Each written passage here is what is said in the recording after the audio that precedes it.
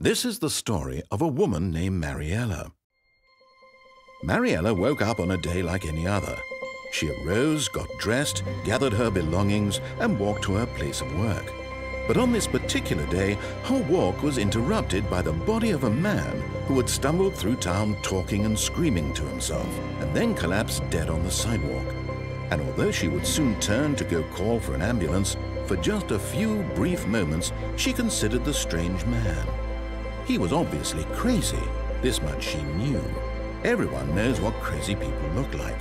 And in that moment, she thought to herself how lucky she was to be normal. I am sane. I am in control of my mind. I know what is real and what isn't. It was comforting to think this, and in a certain way, seeing this man made her feel better. But then she remembered the meeting she had scheduled for that day, the very important people whose impressions of her would affect her career, and by extension, the rest of her life. She had no time for this, so it was only a moment that she stood there, staring down at the body. And then she turned and ran.